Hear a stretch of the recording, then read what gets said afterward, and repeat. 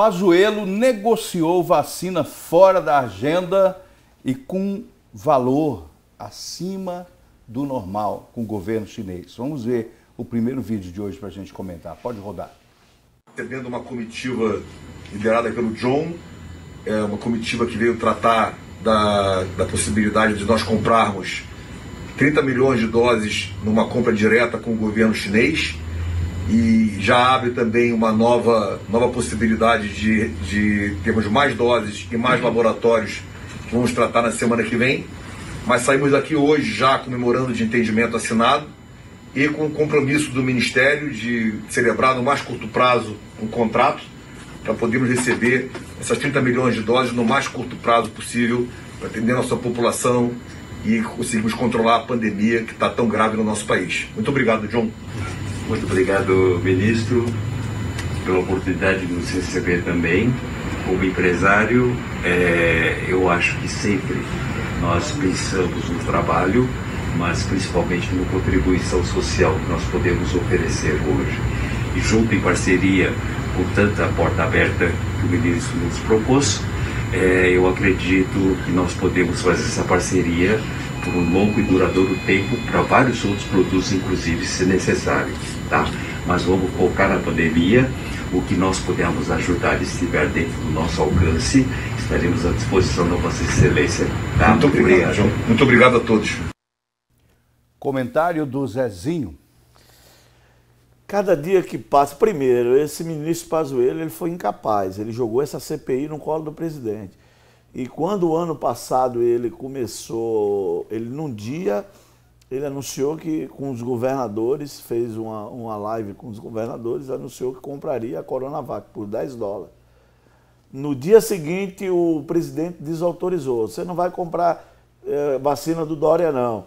Aí ele estava com Covid, o presidente foi lá, Aí ele falou: olha, um manda, outro obedece. E ele disse: ninguém vai comprar vacina cara superfaturada por 10, por 10 dólares. 10 dólares.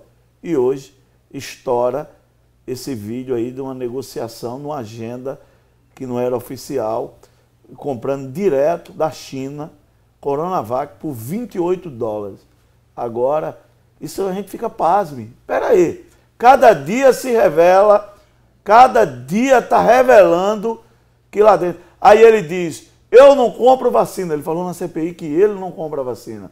Quem compra é era o diretor de logística, que era o Roberto Dias. Mas ele, ele já estava falando ali que estava assinando o contrato. Como é que você compra uma vacina e você não sabe do, do, do contrato que você está assinando, é, a intenção de compra? Quer dizer, da, dos 10 dólares ele sabia que o presidente disse que não ia comprar vacina do Dória superfaturada e disse que era cara e está comprando uma vacina de 28 dólares. Então, cada dia a CPI se faz necessário, está desmascarando que ali dentro tinha. Primeiro, o Pazuello envergonhou as Forças Armadas. Paulo Cavalcante, seu comentário, Paulo. Bom, o, o, Zé não gosta de narrativas, né? mas ele vive fazendo narrativas. Né? É uma narrativa em cima de uma coisa que não foi feita, não tem ainda provas da compra dessa vacina, é apenas uma cotação que foi feita. É, não foi fechado nada. O Pazuello, com certeza, como ministro, e aí havia um apelo da, da sociedade, um apelo da. Na, nessa época desse vídeo, meu Deus do céu, estavam crucificando o Jair Bolsonaro. Queriam que o Jair Bolsonaro é, produzisse vacina. Queria que ele fizesse uma bacadraba e, e viesse vacina do céu. Essa era a grande realidade. Pazuello tenta negociar alguma coisa, não foi fechado nada, não tem prova, tem, Divaldo, de foi fechado esse, esse volume de compra? Não.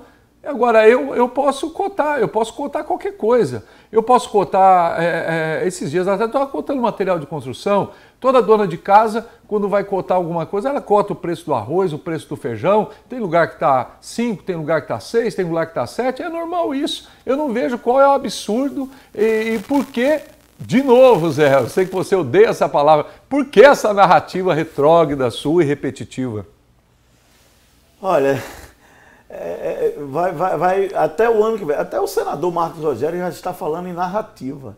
E quando alguém fala, aí eles começam, é, é, é aquela militância, né? Os papagaios começam a copiar e aí sair transmitindo.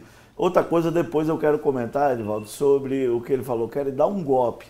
Na verdade, quando você fala com pessoas inteligentes, que pensa que até eleitor do Bolsonaro, eu passei, passei duas horas de conversa, nós vamos, a semana que vem, vamos fazer um debate sobre o voto impresso.